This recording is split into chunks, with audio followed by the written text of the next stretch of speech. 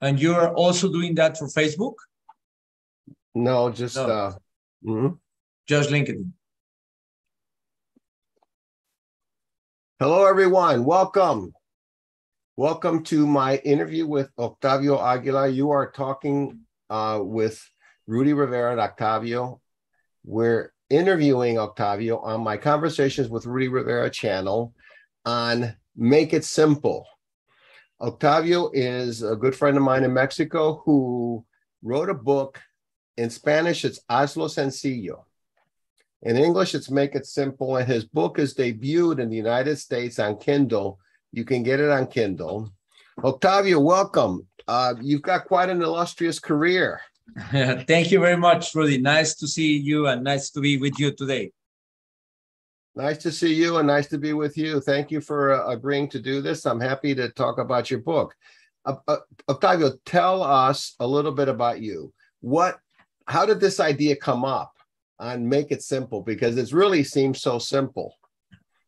Well, it began uh, like 30 years ago for me Right. when I decided that a lot of things that I was trying to do, there were, uh, when, when I went to analyze it, and said, why, why do I have to do this or that or that, even in work and in my personal life? So I decided to, to start studying how to simplify everything.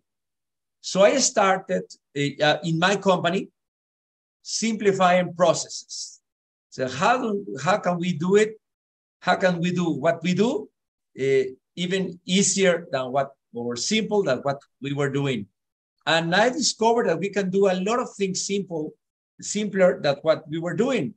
So uh, thinking on the customer.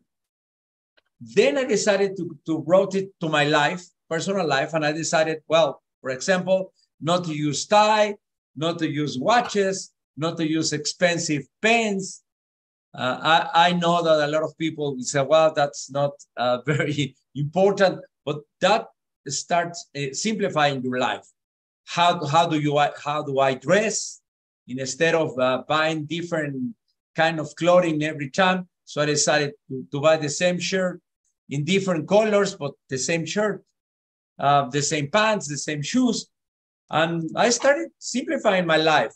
Um, in my relations, to be very clear with the people, not, not being around the trees, know, the branches of the tree, just talking straight to the people. So that's why I say, make it simple is uh, simplifying everything for everyone. That's well, it. but that's that's really good, except that it's one of those things where it's so obvious. It's extremely obvious. Where okay, why didn't I think of that? I I seem to think that we have a tendency to com- to complicate life, yes. in, in especially in the world of lawyers. You know what I see is that many lawyers tend to make things very complicated. It's really very very simple. I always say the first case starts with the first story, right? What are you going to tell the story? And you build your case around there. So in your situation, you're really the end person is the customer, right? Yes. That's who you have to impress because you are coaching people who are customers, potential sources of revenue, right? Exactly, but it's the same case for a lawyer. Someone, someone is paying you, so you have to simplify the thing for your customer. Say, well, this is the three or four alternatives we have, and this is the one I recommend as an expert. That's simplifying. You can tell, you can tell him or her, whoever uh, hire you, or the company that hire you, they say, well, um, this is the shortest way, but we have to do this and that. This is the longest way, and we have to do this and that. But you have to be very clear at the very beginning of the process. Well, I think that so people understand, you know, they think you're a non lawyer giving advice to lawyers. At one time, you supervised the whole legal department. Yeah, well, when I was at, at Pemex, I was a, the, the VP of administration, and I have under my uh, job, my position, over 600 lawyers. So I work with a lot of them in many different areas because Pemex has all, all, all the areas So we have uh, lawsuits, I mean, big ones from the, uh, hundreds of millions uh, to la labor problems. And um, in, in my, I, I, a lot of people think that I am a lawyer because I study industrial relations. Uh, so I have a lot of uh, courses in, in, in law. Um, probably that was the second, the second choice of myself when I was studying to be a lawyer. Probably I should, I should have done that.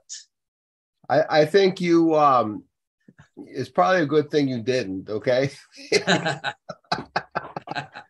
because people welcome you because you're going to make them money. Lawyers, you know, say you're you're only going to you're only going to cost me money, right? Uh, that's what they say to lawyers. So tell well, me, everybody thinks that. I just went to, to my dentist today in the morning, and he said, "Well, I don't I don't know if you are a good customer or a bad customer, patient.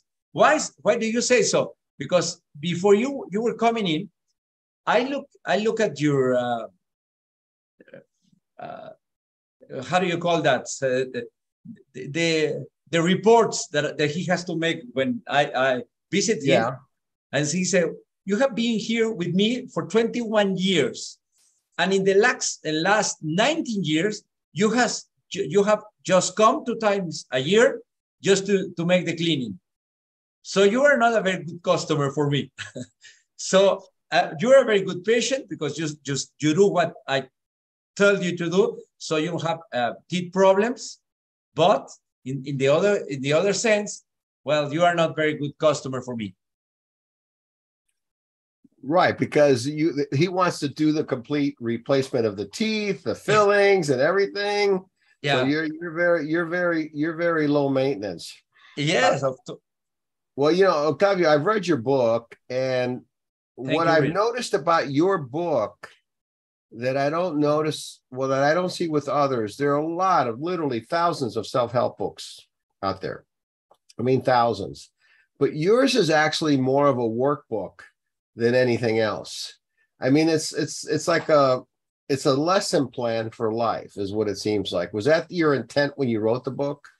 Yes, yes, it was, Rudy.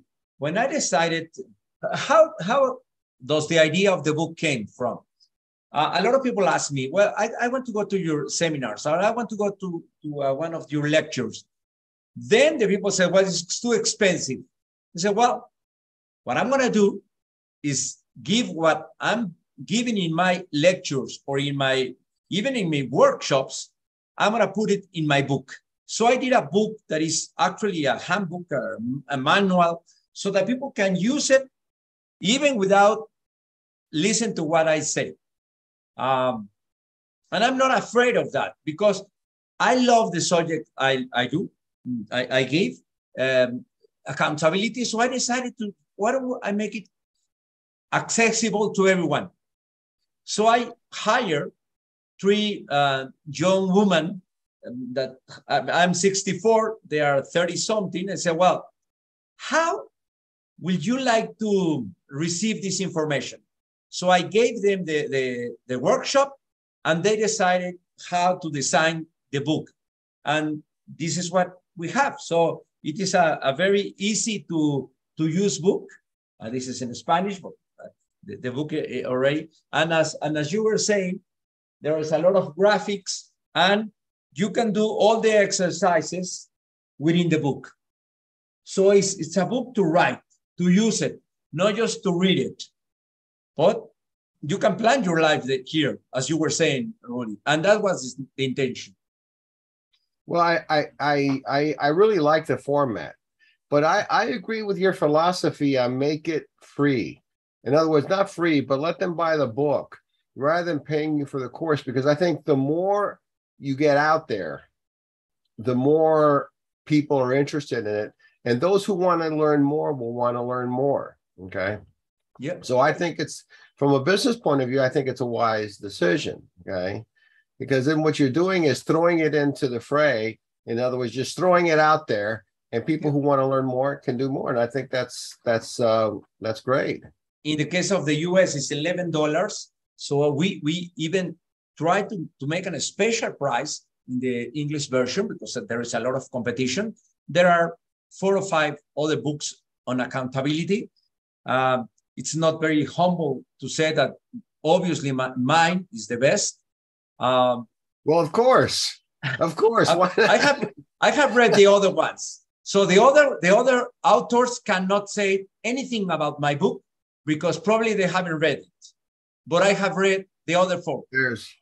Uh, so I have a, a point on that because I even teach in in two of those books that are on the market. So, well, tell us what accountability is. What are the four? You talk about four concepts of accountability. Let's go through them. What's the first one? Planning. If you don't know where to go, you cannot be account or what to achieve. You you cannot be accountable for something. So the first one is planning. Uh, you have to know where to go. What do you want to achieve? Well, some people would interpret that to mean goal setting, right? Planning is yeah. the same thing as goal setting. You want to yeah, set well, your goal. The most you, important thing planning is that part of the mm-hmm. planning. Yeah, the most important part of planning is goal setting. Okay, and now so you have your plan. Yes. Right? Then execute. That's the second one. And the most important one, at least in my experience in accountability, you will spend most of the of, of your life or working life, even personal life, executing. You have a plan, then you have to execute it. So that's the second one. The third uh, part is evaluation. So we have this plan, we are executing what is happening. So we have to evaluate. And in evaluation, I recommend two things. To evaluate as much as you can and as, as shorter the time, the, the, the better. If you evaluate every day, you won't have, you, you will lost, uh, you will want lost a lot of opportunities. If you evaluate every six months, you will lose five months. You evaluate every three months or every four months, you will lose three months. If you evaluate every three months, you will lose two months. If you evaluate every month, you will lose three weeks. So I said, evaluate, evaluate, evaluate as much as you can and make a very simple way to evaluate. Um, when balance scorecard came to, to, to the to management uh, to the management organization, I said this is BS. It's, it's, an, it's crazy to, to have balance scorecard. And I don't know any company today that are still using it because it was so complicated that uh, it wasn't necessary. Use a like like a red light in, on the on the on the traffic a traffic light. So you have green if you are doing well, yellow if you are doing all right, okay, on the budget, and um, red if you are doing it uh, under the budget, and that's it don't get don't complicate the things. Well when i look at evaluation my perception of it octavio is that at the end of the day you you because i talk about this in other talks you have to look at what did you do to in furtherance of that goal? That's what i took evaluation to mean in your book. Yeah. you look at it what did i do today to get closer to the goal? I i equate this to say somebody who weighs 600 pounds and they want to lose weight. And all they think about is, I want to lose a 600 pounds. Yeah.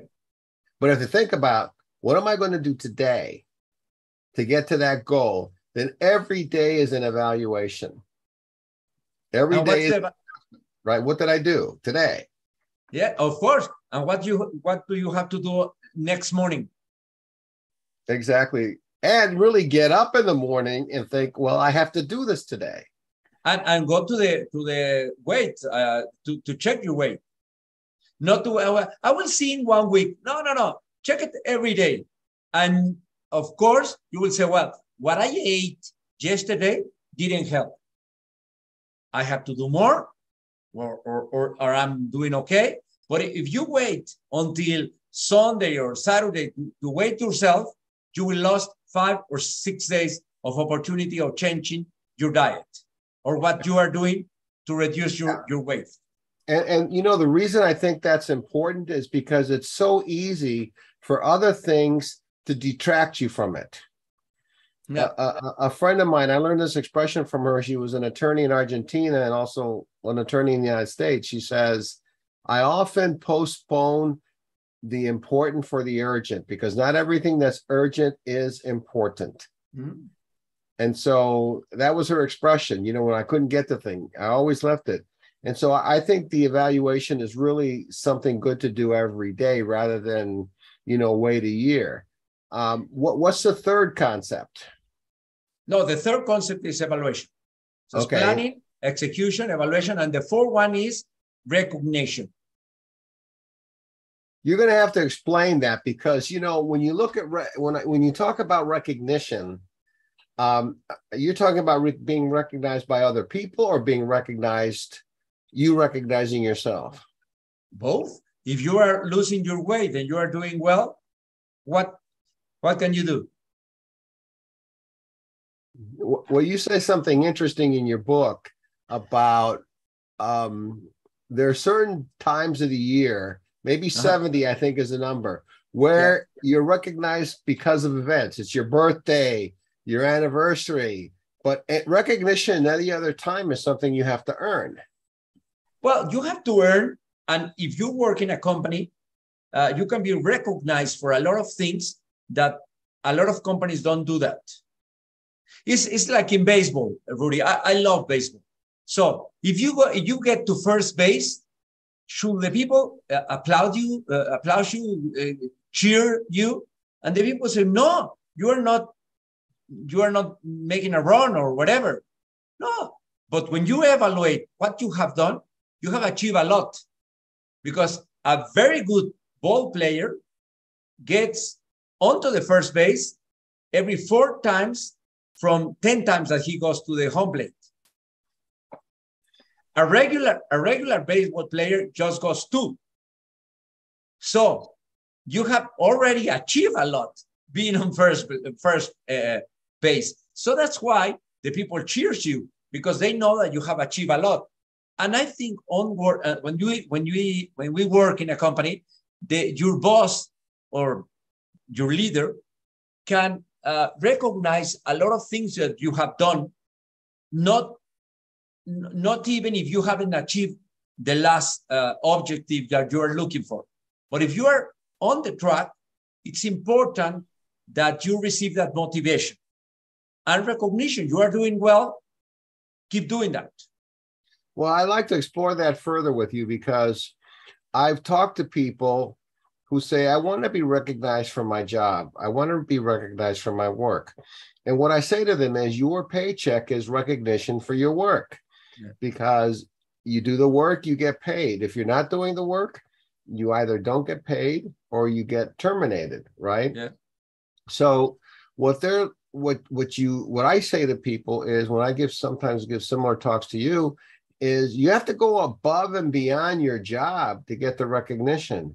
Just doing your job is not sufficient, right, for the recognition.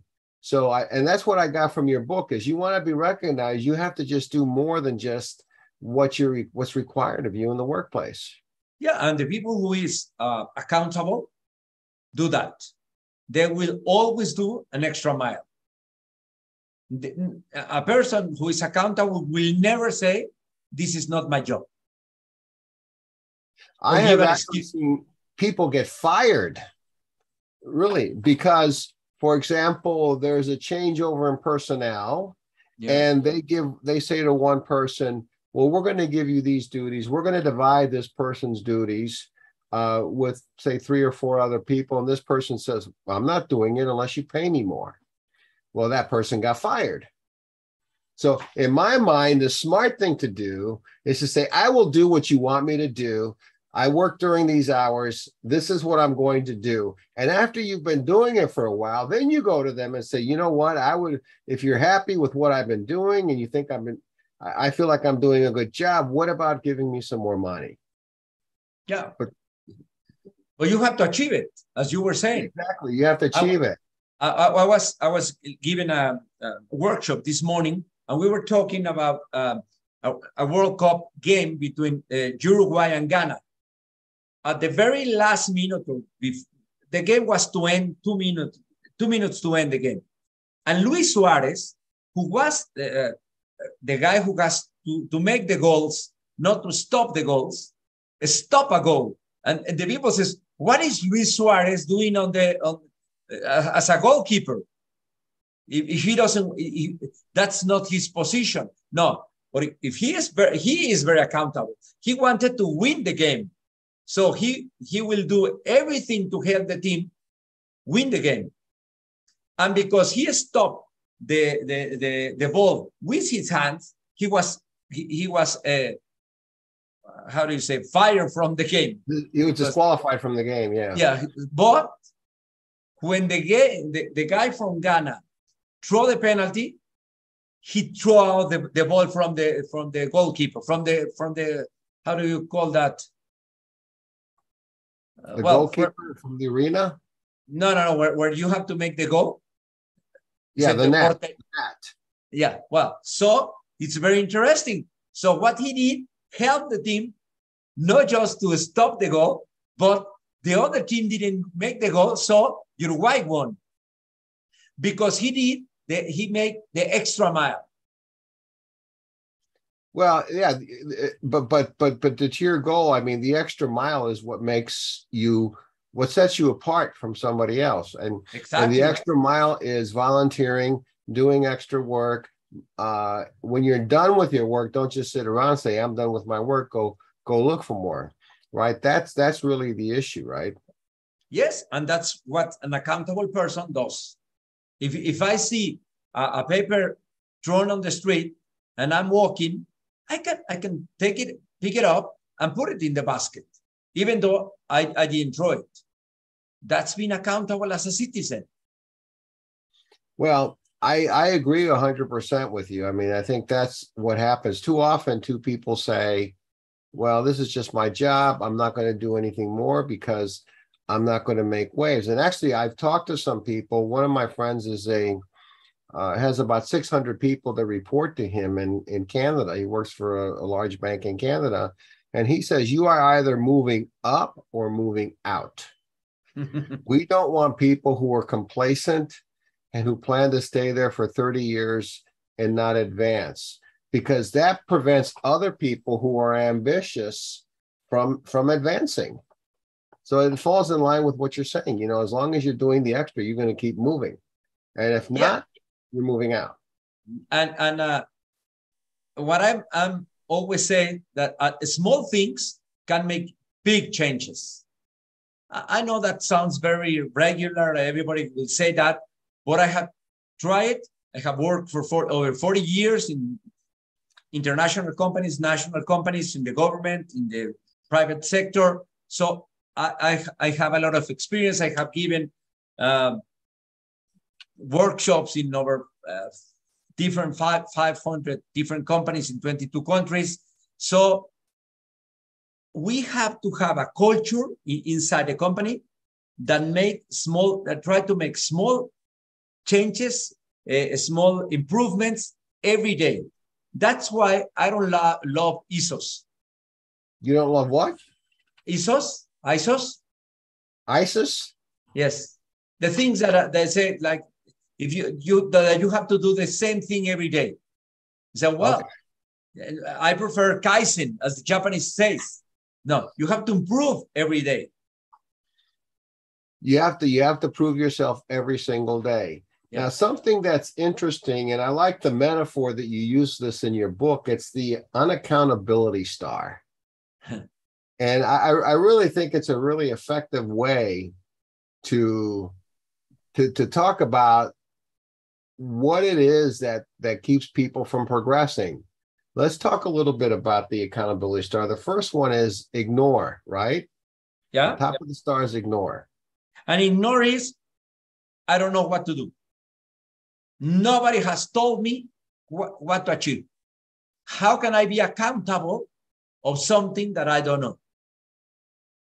I ignore it. So if you ignore it, you that's the only one that you can you can uh, you can use as as as a, as an excuse and as an argument. Say nobody has told me what to do. What, when, why I'm saying that you are not accountable in that case? Because you have to ask for it. Say, what, what are we, what do we not, we need to achieve? I, I, I asked the person who, who cleans in, in a, in a company, what's your work? In, if the people always tell me, I'm cleaning, I say, well, the, the, that person is not motivated. That person doesn't understand what to do in this company. We have to teach him or her that what she or he has to achieve is much bigger than just cleaning.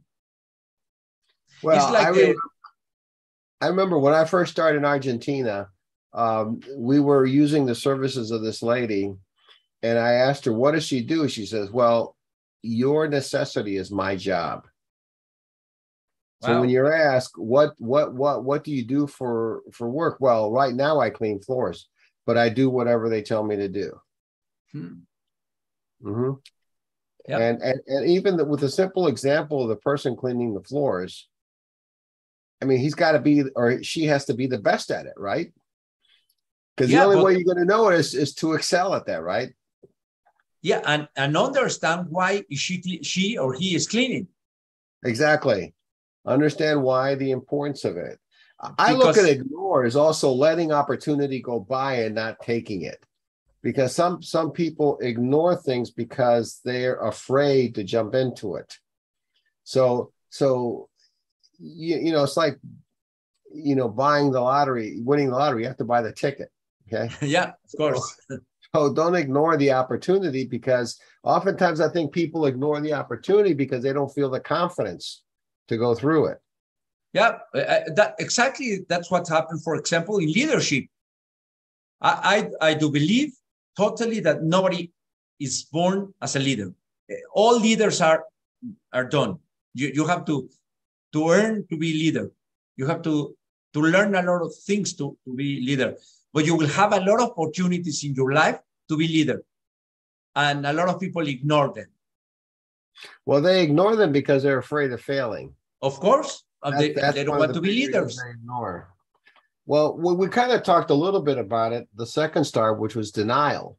Uh, but That's denial has star. another another thing. That denial is I didn't I didn't went to that meeting. I didn't receive that email. Uh, my boss didn't tell me that. No, that is denial. Even though someone told you so, you are saying no. I I, I don't recall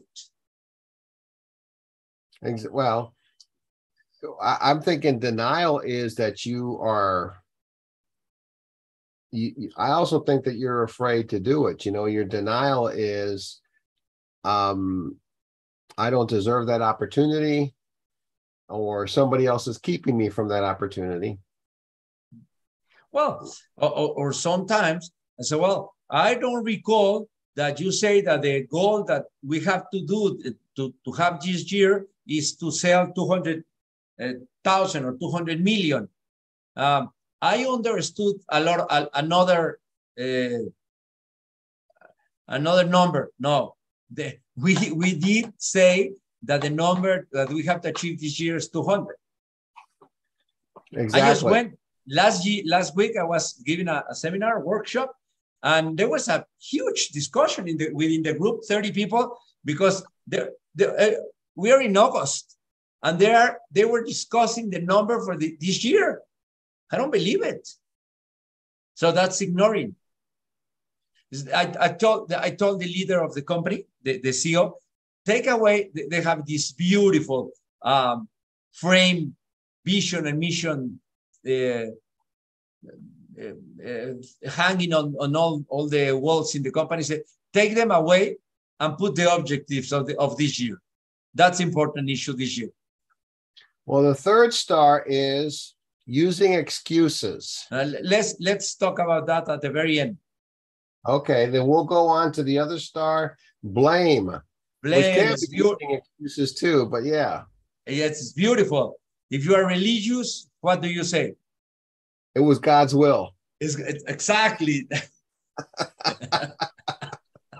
it was God's will. uh, or if you're if you don't if you don't like the politician in turn, you say, well, the president or the prime minister of the the competition, or you blame the other department or direction or vice president, whatever. You are blaming others. Yeah, or the devil made me do it. It was yeah. the devil. There used to be a comedian in the U.S., Flip Wilson. The devil made me do it. I didn't want to do it. It was the devil. Okay, exactly. The drugs, the the the alcohol. The alcohol was the drugs, right? Yeah. Well, and and so, I mean, blaming is different than, in a sense, making excuses, but saying somebody else is at fault for your lack of success. Yeah. And I, I'm a big believer that there may be people who will try to bring you down, who will create the obstacles, but ultimately your success is determined by your drive and determination. So you don't give them an excuse. I was um, a, a wrestler in college and, and, and, and I did competitive judo, competing okay. on a national level. And I've always said, if I can't pin them, if I can't flip them to the match is over with, I have two opponents. My opponent I'm fighting and the referee. because now I put it in the hands of the referee because I did not execute a move. Okay. Uh, remember you we talked about that uh, some days ago, uh, Rudy. Rudy. Yeah. When when a lawyer lost a case, what does he say or what does she say? It was the judge. The judge. It's a, beautiful to blame the judge. The other one is the, the fourth one is rational, uh, rationalize. What, yeah, what do I mean by this? Yeah. Rationalize. What, what is that? That you um, find is uh, how um, things to say about why you didn't do it. Ah, the competition did, did that. Or uh, we, we didn't have the information on time um, because this or that, because it, I, I, I crashed because it was raining. No, you didn't crash because it was raining.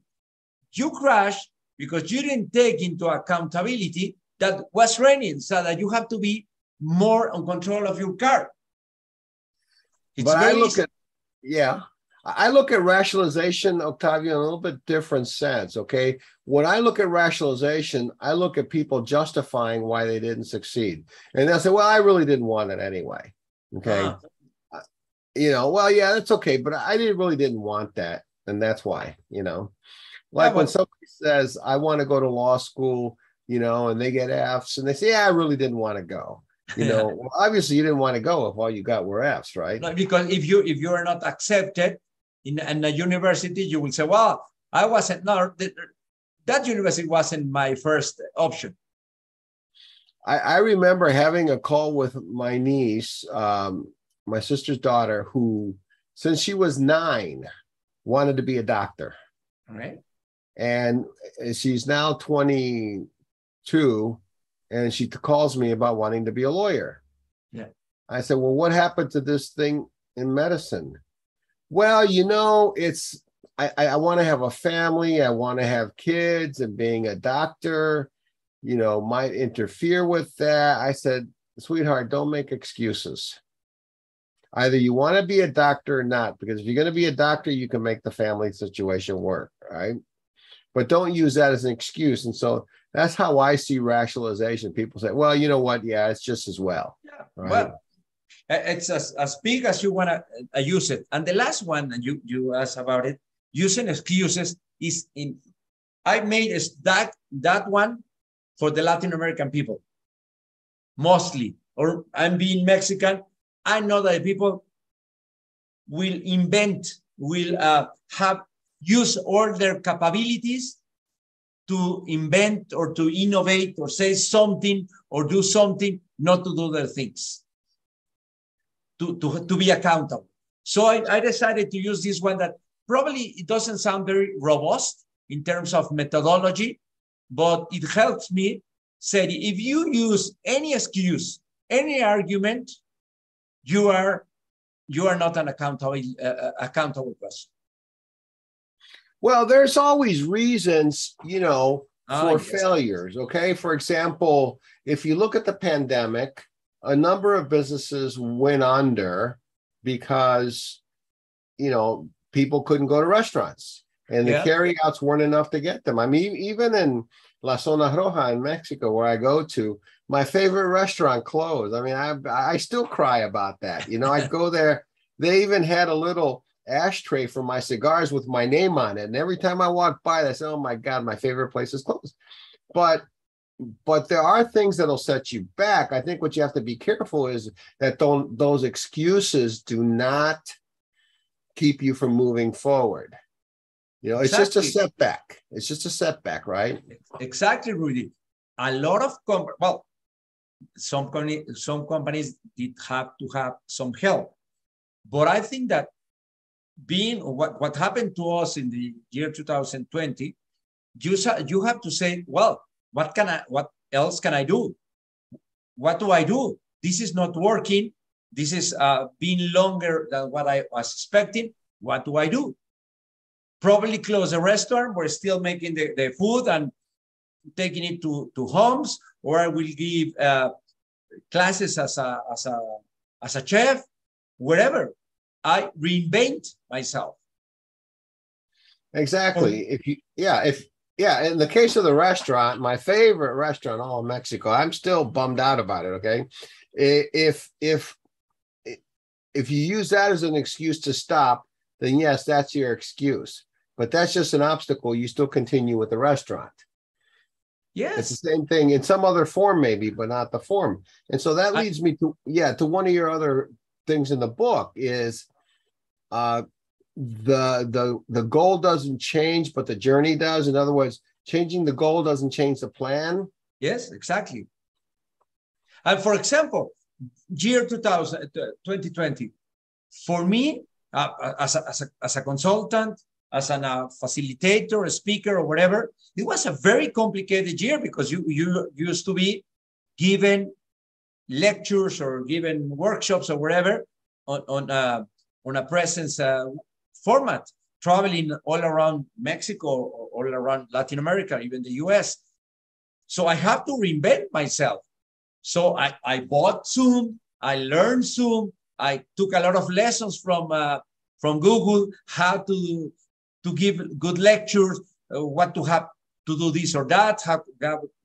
So I reinvent myself and was the second best year of my uh, of, right. me as a speaker in, in, in 20 something years.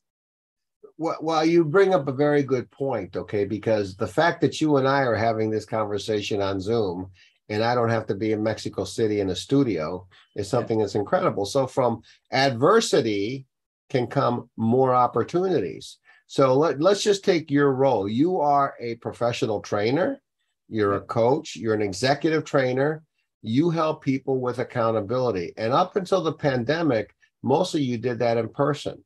Yes. But now you're able to do it through Zoom, which can expand your market more. So now you don't, for example, you don't have to make a 20 hour flight to China or a mm-hmm. 30 some hour flight to Australia to do it. At the drop of a hat, you can be in five countries making five different presentations, which is more opportunities. And that's what I did. Exactly. I went, I went to clients like Walmart and said, Well, I am ready to give a lecture or to give a workshop in all Latin America at the same time. And I did so. So I had people from seven countries, from uh, Walmart Mexico and Central America, given uh, I have I was giving them lecture to to different people in seven different countries at the same time. In the other in the other case, as you were saying, I, ha I have to travel to six different countries. Yeah, and and I I see this now for me because I um for example Friday I attend a hearing in Anguilla through Zoom. I would have to go there and now I'm just going to sit in my chair and, and watch it. So it's cre- it's created more opportunity. I, think that uh, when, pe- when people look at the negative, for example, in the case of the restaurant, or in the case of people talking, you know, physically to people, you and I have had to learn a new skill set to adapt. So we could have used the pandemic as an excuse, right? We could have said, that's our excuse. But we go beyond that and then we try to do something to say, well, how are we going to benefit? Uh, you, you you know what the, the phoenix, the bird is, right? It's a, the, the the bird that crashes and burns and rises from the ashes. Yes, yes. That's that's that's you know what I see. You know, when you crash and burn, you're like the phoenix that have to reinvent yourself, right? and and, and in, in execution that's what i spend is spend the more the more time when i do the workshop and in the book there are a lot of pages about that what i said is you have to learn how to treat the the, the person who is in front of you so instead of trying to sell your product every time understand your client better then you can sell much more than what you are actually selling or, or what you were uh, trying to sell at the at the uh, at the beginning. So I I tried to change the paradox of saying treat others. They, they will they have always told us treat the others like you want to be treated. And I said, that's a stupidity today. okay. I don't know when, when it was written, and it's on the Bible. Uh, it's probably it was right. I don't want to discuss that. And I'm a sociologist and I'm a theolo- theologist or whatever, sociologist uh-huh. or archaeologist or whatever. Yeah. What I what I, I understand the world of today. And today you have to treat the others like they want to be treated. Oh, exactly, exactly. Because it's it's all about listening. Of course. It's all about knowing what you're you and I've had conversations about this before. It's about listening. It's treat your client the way they want to be treated because there's a, another expression, Octavio, is the golden rule. He who has the gold makes the rules. Okay. If your client is the one paying you, then you want to treat him how he wants to be treated, right? Because that's your job. Exactly. But a lot of companies and a lot of person does, don't, doesn't understand that. And that's why they they want they go bankruptcy or they broke. So because the question I huh? Go ahead. Go that happened to well Kodak, BlackBerry, uh, Blockbuster. Three examples of what companies that did. Nokia didn't understand their clients. Well, I don't. You know what? Here's I I think I agree with you, but I would add a different dimension to that. They didn't project Kodak didn't see the future of digital because they thought they had the market. BlackBerry thought our security is what's going to keep us through. In the meantime, Steve Jobs has revolutionized, you know, how we use the phone, right? And Blockbuster didn't anticipate the internet. But you know.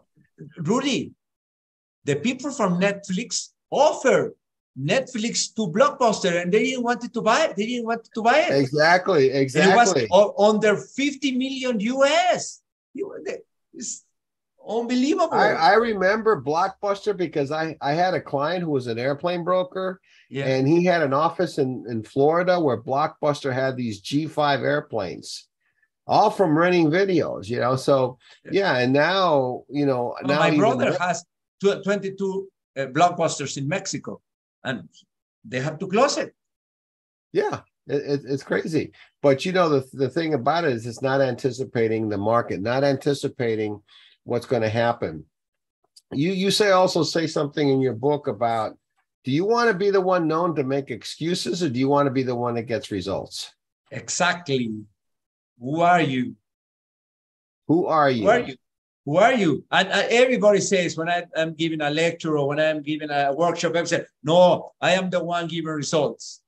I'm going to ask your wife about it, or I'm going to ask your boss about it. uh, think uh, very closely about that question and tell me the truth.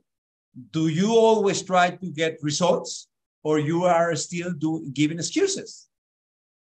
And um, results are subjective. Okay well, the results are, are are subjective sometimes, but I I think you want to be known for somebody that gets results, but you have to get results constantly. You can't just get one result no. and then think, "Oh, I'm going to rest my career on that." No, uh, it's like playing in, in, in, Wimbledon or the U.S. Open, and you mm-hmm. start.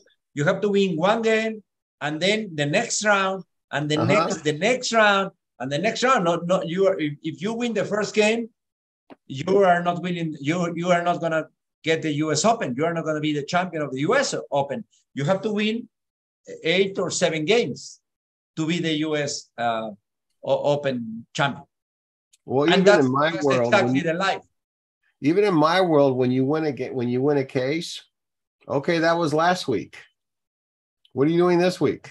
Or or you next you another client. case. or, or Huh? you win or you win a case for one client you need to win the case for the other client Exactly. For many clients, exactly, exactly. So, so Octavio, what, I mean, what advice would you give to somebody? Well, well, let me start this over again. They're huge, as you and I have also discussed, cultural difference between the Mexican and the person living in the US. yeah What would you do different in the US that you you don't do in you wouldn't do in Mexico because it's two totally different cultures. You know, you and I talked about people who signed up for the seminar. You said, well, you know, Mexicans will sign up later. Um, you know, Americans tend to be more punctual. That's the stereotype, okay? Yeah. But what would be different about your advice uh, between giving it to U.S. individuals and Mexican individuals? Well the first uh, thing we already talked about when uh, when in one of the lectures that we receive in latin american speaker association that you and me are uh, members uh, i heard from a guy i don't remember his name he says if you're a speaker or if you're a consultant or facilitator or whatever your business is not selling books. And i learned that for the us market so what I'm doing is not selling. My, my business is not selling books. And that's why I'm giving the books in very inexpensive. Because what I want to do is read the book. And as you were saying at the very beginning of this uh, conversation, that I'm, thank you, uh, very thankful to you once again, Rudy, is um, if you want to know more about it, talk to me. You already read the book but you have uh, there are a lot of things that you won't find on the book because the only way to find it is to have this conversation as, as we are having this and that's a, a, a very different approach than what i did in mexico You know, it's, it's fun. I just had a conversation today about with some Mexican lawyers about doing a webinar or doing something, and they said, "Well, we don't want to teach our competitors how to do it." And I and I take the position you teach everybody how to do it because what ends up happening is you get you're the expert at that point. Nobody's going to become an expert reading your book. So giving it away or selling it at a low price doesn't doesn't make things worse for you. In fact, it makes it better because it makes them want to learn more. It and a lot of people will Mhm. know that I, I am an expert in on accountability Well, that's I what don't I'm know trying to I'm an expert on yet, but hopefully one day when I grow up, I you know, I want to be Octavio when I grow up. Okay. Uh-huh. So, yeah sure so Octavio, I got to ask you, okay, because one of the rules in doing a Zoom is having a very simple background. And your background, can you tell us the significance of those design? I know you're an art collector, right? Yeah. And in a lot of your material, you have those what we call the little muñequitos there, right? Tell us briefly the significance of those. Yeah, well, this is a Daruma.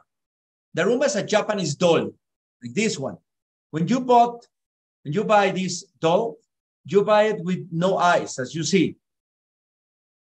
And when you begin a project or you begin a, you, you want to achieve a, a, a- big uh, objective or wherever, then you, no, this not, this is not the one I, I wanted to choose, this one. You put this one, one, one eye, and you won't be able to paint the other eye until you achieve the thing. And if you, this is a, a, Japanese tradition. So the big companies, well, the companies and the persons do have this at, at the beginning of the year or at the beginning of a, a, a big project. So if you achieve it, then you have you have the two eyes. So what's so that shows you that shows your progress. Exactly. So what what happens every morning for me when I see this?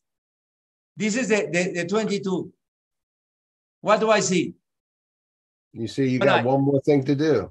A Lord, uh, more, more, more, more things to do. So that's why I brought this Daruma to this uh, conversation with you. This is my launching of the English book. Okay. So what I'm gonna, so what I'm gonna do is uh, draw the first eye of this Daruma. And until I achieve some, the number I want to do to get uh, as a, of selling books or, uh, via Kindle of when I'm printed, uh, uh printed, I, I can put the other. So I want to have, uh, I want to put it in here with me. So I know, and I have another Daruma open. so your book is now available on Kindle. It's go to the Kindle store and you can download it, right? Yep. And you've also got your website. Uh, what's in your website again? It's Octavio. Uh, www.octavioaguilar.com. And okay. it's in and, Spanish and in English also. Yeah, I saw the little button where you can click it into English. Yeah. Yeah. And, and you've got a great video on there. So to everyone who's listening, uh, we are, we're broadcasting live on LinkedIn, on YouTube, and Twitter in three mediums. And um, please reach out to Octavio. He's on LinkedIn. He's connected to me. Um, he's an excellent speaker. I've heard him in other situations, and I really think he's onto something with this make it simple in the United States, because that's always been my belief. Make it simple. Don't ever analyze to death. I call it analysis by paralysis. Yes, of course. Yeah. Where people where people they spend their whole time analyzing it and don't ever make a decision. And by then the facts change and you have to start analyzing all over again. Now, it's another way of saying it, but and I agree totally with you, Rudy. Is it's better to to to say perdón than to ask for permission. Do yeah, it. Better to ask for forgiveness and for permission. Exactly. Yeah. So do it. Yeah, and that that's a good thing we can close with is I I the the if if I could take one word to describe your book, okay, it would be being proactive. Everything that you suggest in your book, it's about being proactive. It's not about sitting back. It's about constantly moving forward one step at a time. You you like the Japanese and I like the Chinese uh, proverbs. Uh, the journey of a thousand miles begins with the first step. Exactly. Exactly. And and Thomas Edison, he said, I didn't fail 10,000 times. I just figured out 10,000 times why something didn't work. A Mexican guy, huh? You know that? Edison? Yeah, he, he, he was born in Mexico. Okay. To US parents? Yes. Well, that's why he was so brilliant because he was born in Mexico, right? of course, Rudy, you know it. well, thank you everybody uh, for uh, for appearing and and listening. Uh, it was a great conversation, and I think what we'll do, Octavio, when your book starts to sell more, we'll get on and and and talk some more. And when you start doing version two of your book, we'll we'll we'll talk again. Thank you very much, Rudy, and thank you everyone for being here. I'm very excited to be. Uh, I will be in September in New York giving my first uh, lecture in, in English for about the book. I just did it in, in Los Angeles. Uh, now I'm going to do it in New York. I'm very happy about it. Sounds good. Take care, my friend. Thank you. Thank you so very much. much. Have a good night. Bye. Bye. Okay, I stop recording. Okay. Ya, ya dejé de grabar. Yes. And you you have to stop LinkedIn or whatever. Yeah, I've been monitoring it on LinkedIn. Hold on.